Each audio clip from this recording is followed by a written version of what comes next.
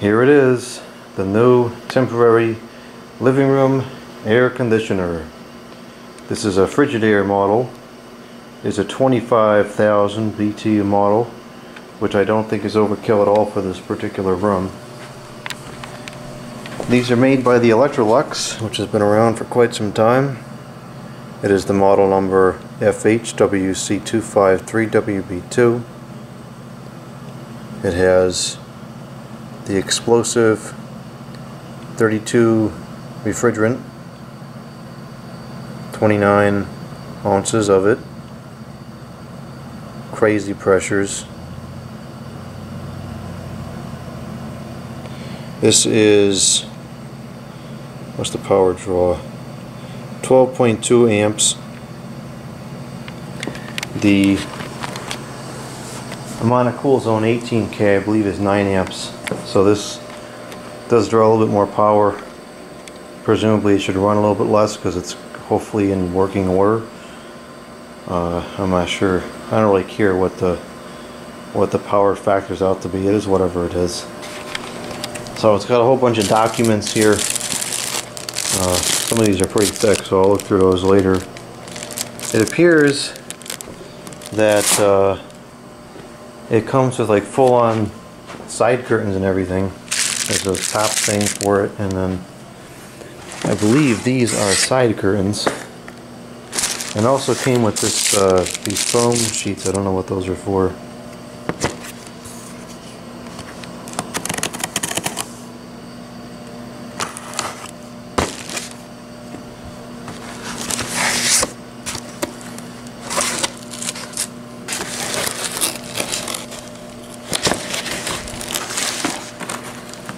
Yep, those are definitely side curtains.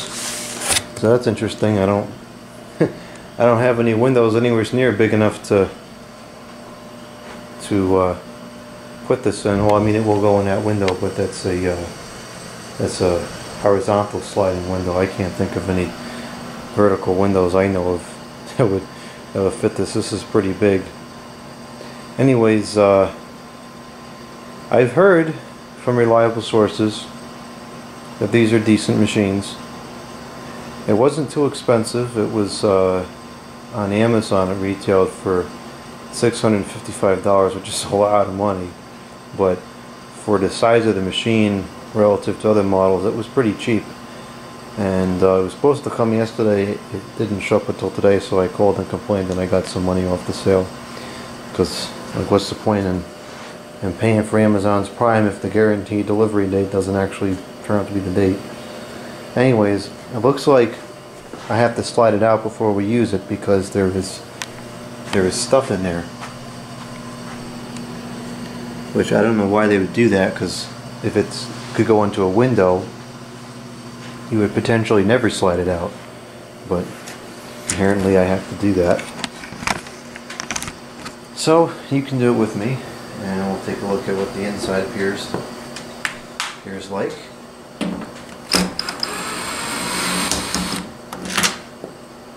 we're off to a great start. Screws flying everywhere. And there's a plastic little washer on the floor somewhere now.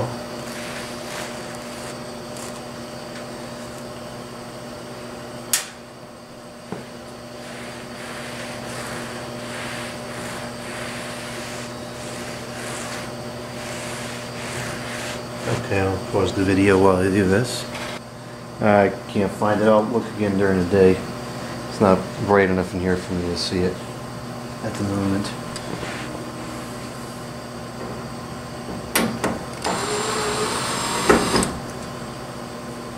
Alright, so those are removed. This is removed two shipping screws from this area. So, I mean, those look like they could hold something together. So I don't know why those are just shipping screws, but whatever. It's got all this dorky advertising stuff on here. Energy guide you know, on expensive glossy paper. Like, come on, people. It's an it's a 10, a, a SEER of 10, which is very low. I mean, we have uh, uh, central units that can get up to like 24 SEER now, I think. So 10 is terrible.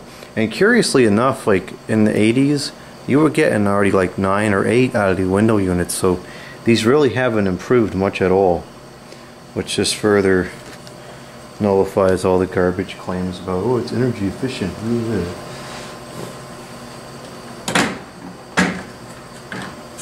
Okay, so I think there's going to be a couple screws inside here you have to remove in order to slide it out. It looks like uh, at least three. And one down here.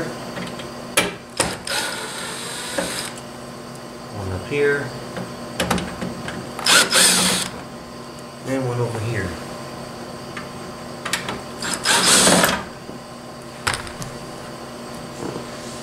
Uh, four. One down here as well.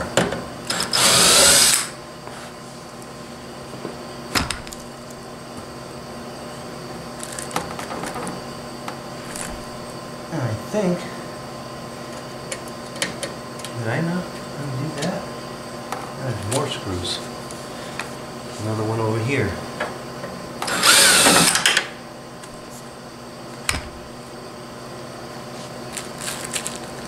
I think that should do it.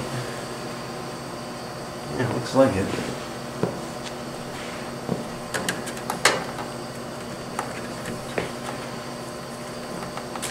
I might need to get a, uh, oh no, there it is.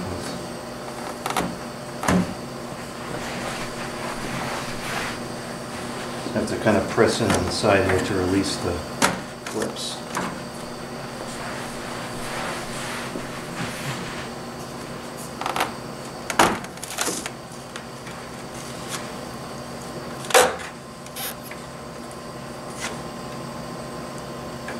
And then we have a modular connection over here for the uh, controls. And now the front cover is detached. Okay, so uh, we have this, stupid little vent thing, which is such a useless and dumb feature, yet it's been on these machines for decades. Oh yeah, that's that little hole is really going to exhaust a significant amount of air. Stupid. He's got a regular uh, squirrel cage uh, blowered air, not one of those weird uh, like vacuum impeller looking things. It's like a ball bearing motor for sure. It's a smaller coil than I would have expected. Looks like it's some kind of uh, copper alloy. Uh, the aluminium ones that Carrier used were much better.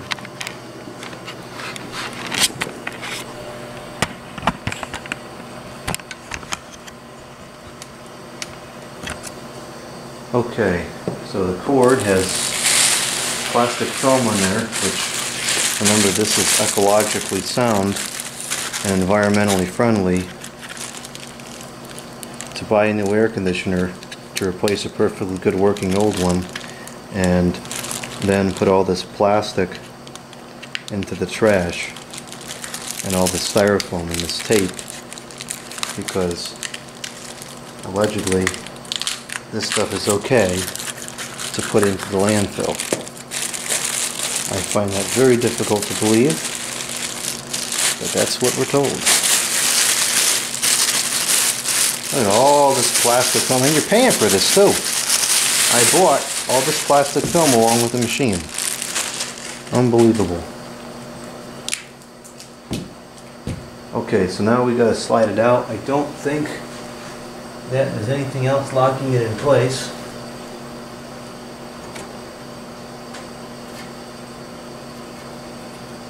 I'm gonna move it onto the floor though for this because uh, it's gonna be easier to slide out. And it's not moving around.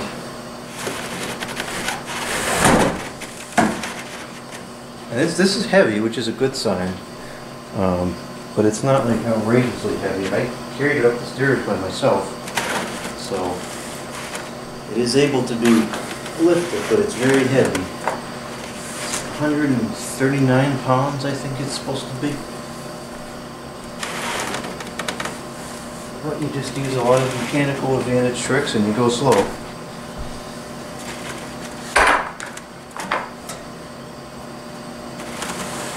Okay. So now, let's see if we can slide it out. It's got a nice handle down here to slide out with.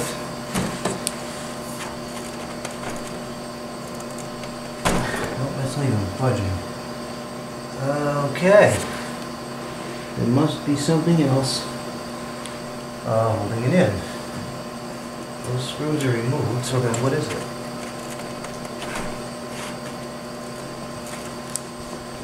Huh.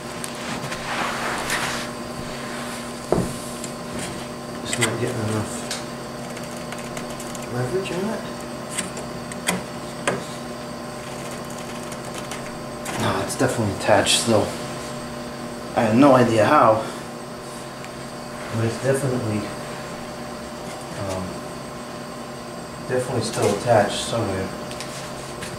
Could it be? Ah, yes it is. That's pretty stupid. Because how the heck would you put these on? There's certain applications, so you wouldn't be able to screw this back in.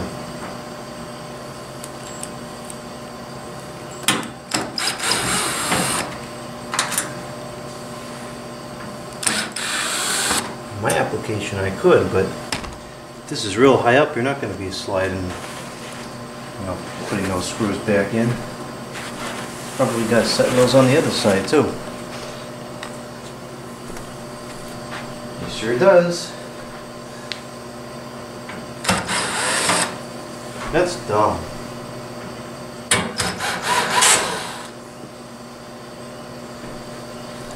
Alright, let's try again.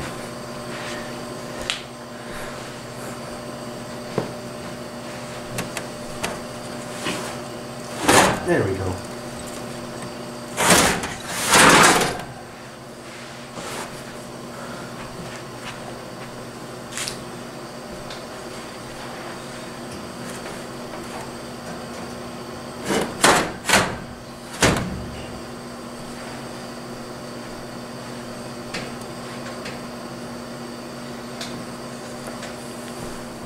Okay, let's take a look at what we got here. Remove straps and foam blocks before installing into sleeve. Yeah, it was already in the sleeve, so how does that make any sense? Um, I guess we got to cut this out.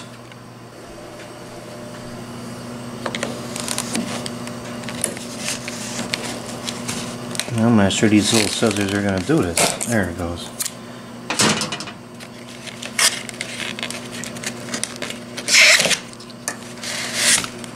Okay. I think that's all. I think this is supposed to, oh no, that comes out too, I guess. Okay, that's weird. Um, what's this? Caution, risk of fire. Is that a service port?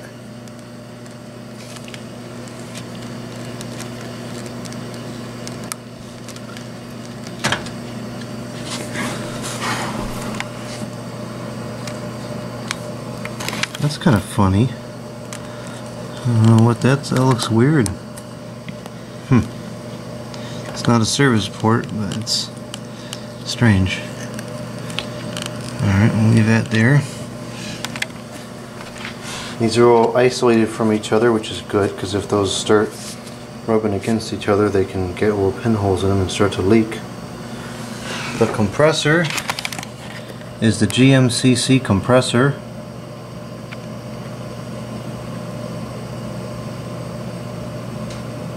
Pulls refer to aircon's label. Do not compress air. Don't tell me what to compress. So it looks like this could be for 32 or 410. Pretty sure nothing comes with 410 anymore. So let's see, we got four tubes there going in. And uh, none of them are making any contact with each other, so that's all correct. The condenser is is four layers thick. So that's pretty substantial. Let's see what the drainage situation is here. It has the stupid slinger wheel on the fan. Plus, it looks like it has a bunch of bunch of uh, coil pieces that go along the bottom that are supposed to sit in the water. But I think this is so dumb because like that shouldn't even work because it's just going to fill up uh, like the water's just going to get hot and then I, I don't know. I don't see how that makes any difference. So I think what I'll do here is I'll put some hot glue or something to block block this off and I'll drill a hole in here so that the uh, water goes out and not into the uh, not into the condenser area we don't want any water in there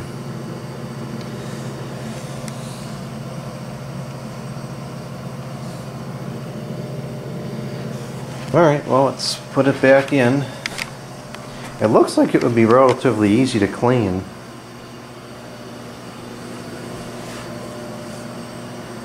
Uh, well, This would come off and give you access to the evaporator area and then I think you'd have to take the you have to take the fan off. And then maybe if this is in two pieces you can slide the top part out and then get those screws off I don't know. Maybe it's not so easy to clean. Historically Frigidaire like over the last decade or so was pretty repeatable for being easy to clean but maybe this isn't so much the case. I don't know. It's gonna be on my deck and the condenser is going to stay dry so it should stay relatively clean. And hopefully it's not even in service for that long but who knows? Alright let's slide this back in. It slides in and out very nicely. I'll give it that much oh the fan motor we should take a look at the fan motor too while we're in here the fan motor is a uh, is a Welling motor, which is a known brand. It's an air over motor, of course, and yeah. It doesn't, does it explicitly say made in China? I don't see it saying that anywhere, but I'm sure it probably is.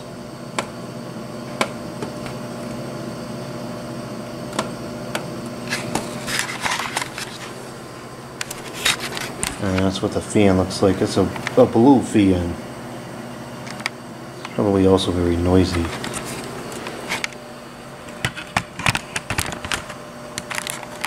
That's my biggest concern with this machine is going to be the noise level. Alright, let's get this back into the sleeve.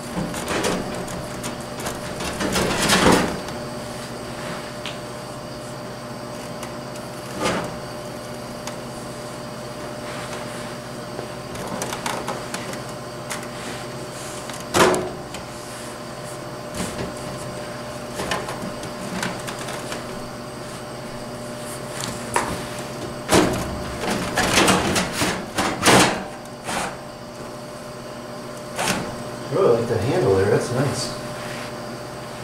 Okay, Two, or those four screws back in the sides, even though I think that's dumb. And then we'll turn it on. See how it works. See how loud it is.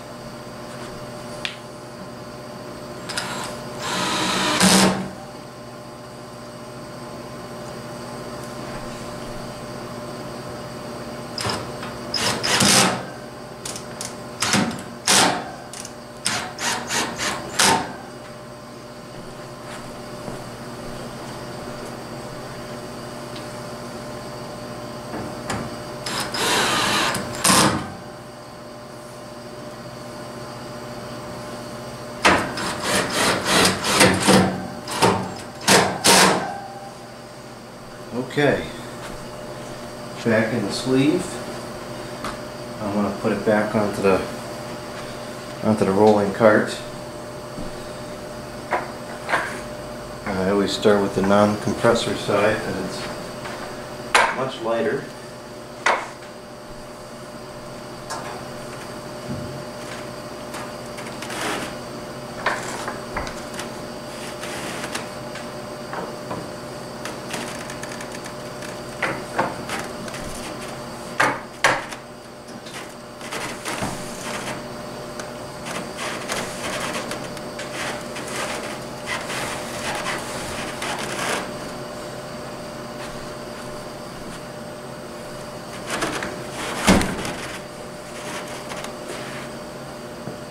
Now we'll put the front cover back on. We'll reattach the uh, electronics controls.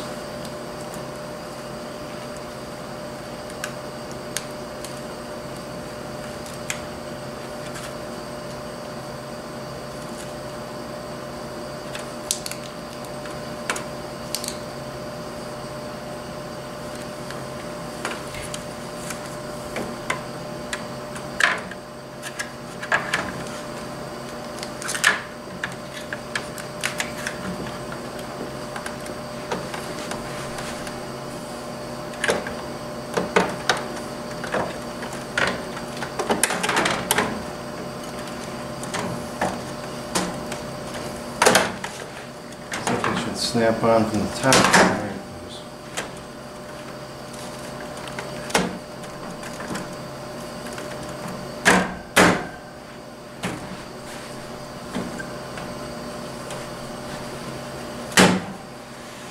Okay.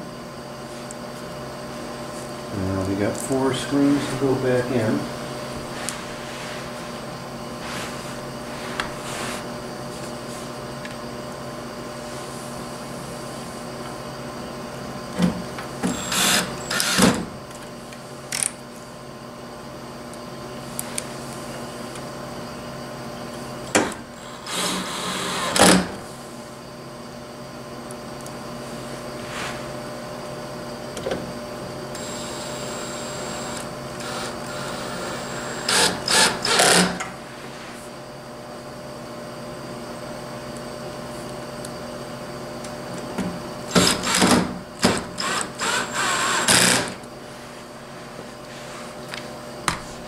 Okay. Yeah, oh, there's one more.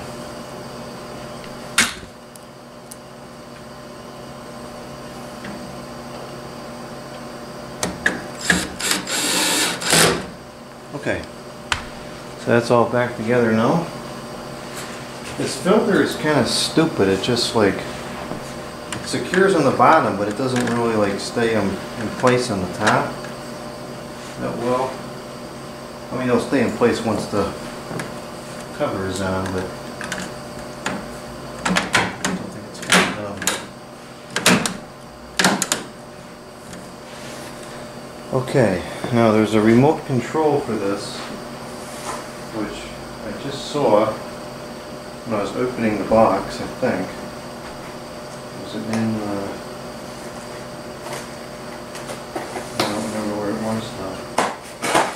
Oh, here it is. And it comes with, uh, what does it come with? Comes with weekly minimum batteries.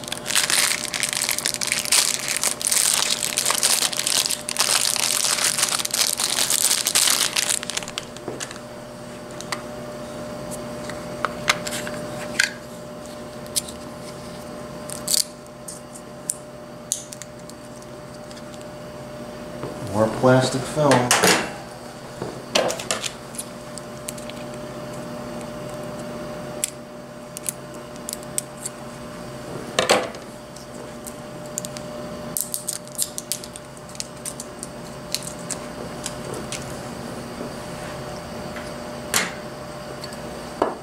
Cool.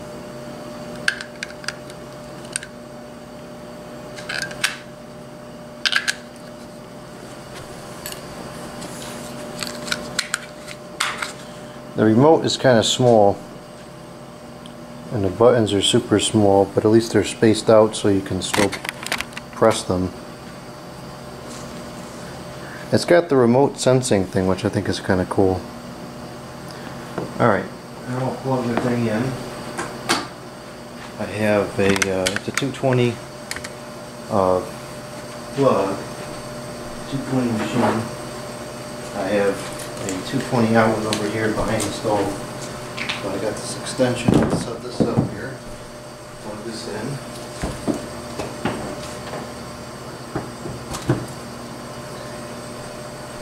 And I'll plug the machine in.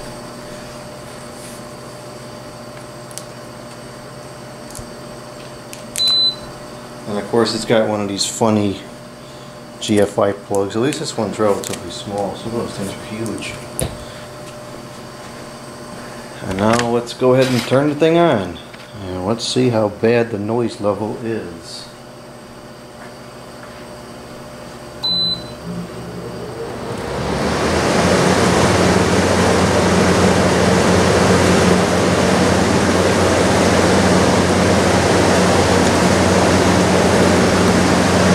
So that is, uh, what speed is that?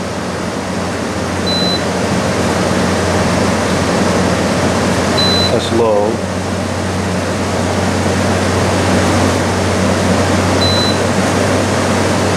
That's high.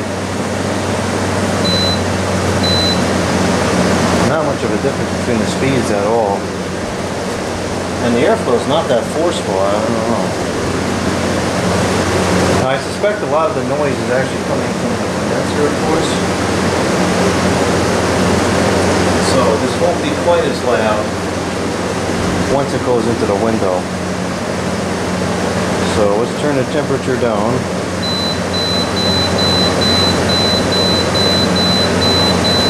See if we get that compressor to come on.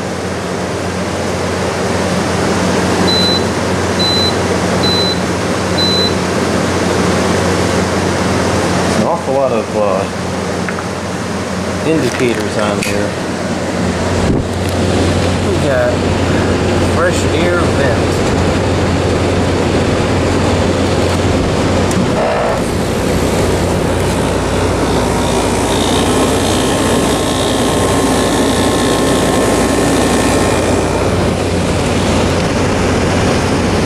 I don't quite understand uh, how that works, but it's a useless feature anyways.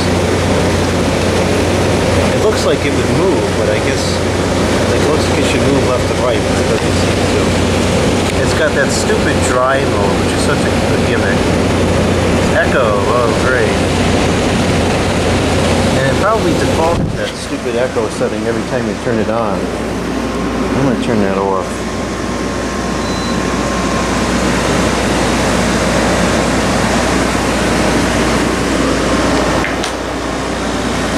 Compressor's fairly quiet.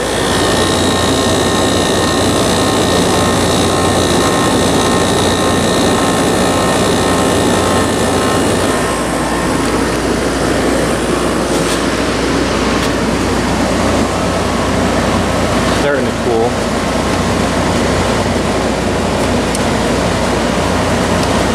Now I'll give it some time and then we'll come back on the video and see how it's doing. Been running for a little while now. It is throwing off a ton of heat. It's gotten hot in here. Uh, the compressor has become very loud, which is fine. It's not an unpleasant sound.